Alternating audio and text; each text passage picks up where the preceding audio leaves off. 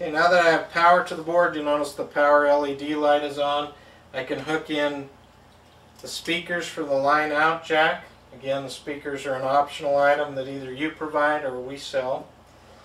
Um, another optional item is the cord for recording sound. This is a stereo to stereo cord that will allow us to go into the line in jack there and we can connect it to the line out on my computer, on my laptop.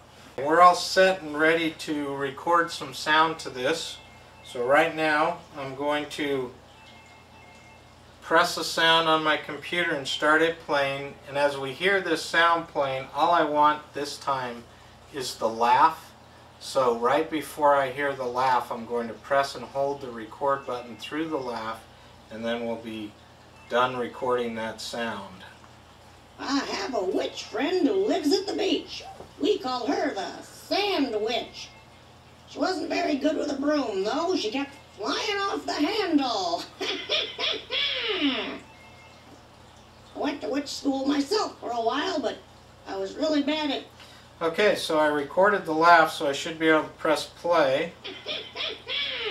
And we hear the laugh, and every time I press play, we'll hear that laugh. So now if I was going to, that's in standard mode, so now every time this is triggered, I could hook the trigger wire up to the trig connection. Every time the wires on the trigger connect, and this would normally be done with a switch or something, and every time they connect, we'll hear that sound that I recorded. Now I could also put this trigger header on the V-trig connection off to the side and with that I could trigger through 5 volts, 9 through 12 volts, 24 volts, or 120 volts. So we've got several different triggering options there. Okay, so you saw how we recorded one message and then we were able to trigger. Now we're going to go with the second message. So this time um, just going to record another message here. I used to date a ghost, but he was too much into the booze. Every time he had a drink, I had to get him off. I lost him one night in a fog. Now he's missed.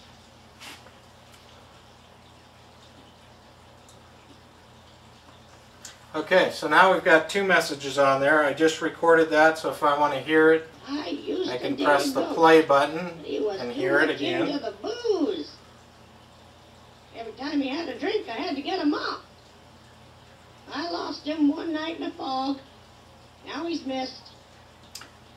Okay, so now we have two messages. I'm going to press forward to go back to the first message. And I'm going to put this in the dual message mode. And what that does is it's going to play our first message over and over and over again until it gets a trigger. And then it'll play that second message. So we should hear that laugh over and over again until I trigger it.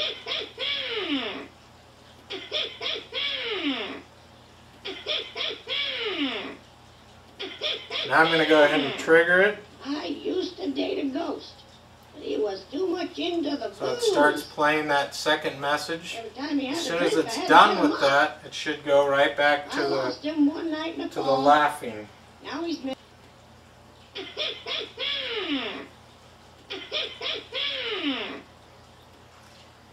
Okay, now the dual message mode, um, that allows it to play the first message over and over again, and the second message it uh, goes to when it's triggered, and then it goes back to the first message and keeps going. We also have the multi-message mode, which on that one, every time it's triggered, it plays the next message. So we have two messages on here. So I'll put the shorting jumper on the multi-message. I'm just going to use a shorting jumper on the trigger. Okay, you'll notice that time it triggered, it played the laugh. This time it'll play I used to date a ghost. the second he was too much into the booze. Every time he had a drink, I had to get him off. I lost him one night in a fog. Now he's missed. Okay, then it's done and it's waiting for another trigger. If it gets triggered again, it's going to go back to the first message. Now in multi-message mode, you could have as many messages as you can fit on your chip. On this 120, we have 80 seconds at this quality, so we could do 8 10 second messages that if we wanted to, and it would loop through every one of those. Every time it's triggered, it would play one, then it'd stop, next one it'd play the next one, then the next one.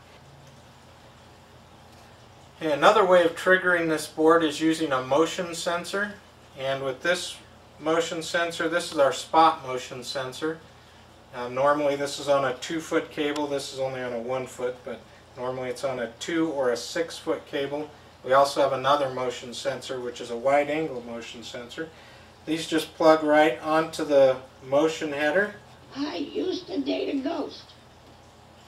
and I'm going to take off the multi-message, even though it would work.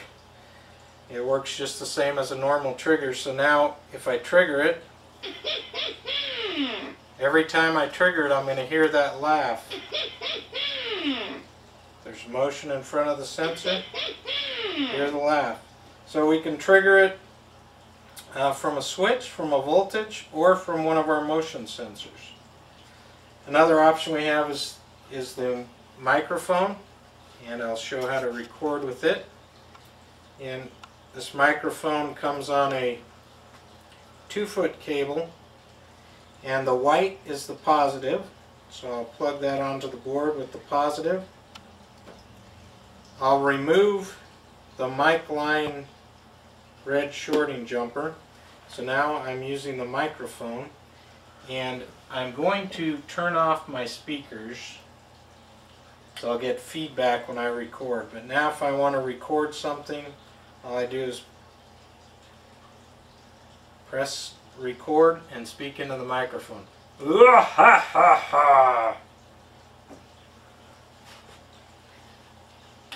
Okay, so now I could play that back if I want. So you'll notice it's very easy to record using the optional microphone. We now have three messages on this board that we could flip through if we wanted to. Hopefully with that you've gotten a brief introduction into some of the uses of the recorder player board and I'm sure you can think of a lot more. Thanks for watching.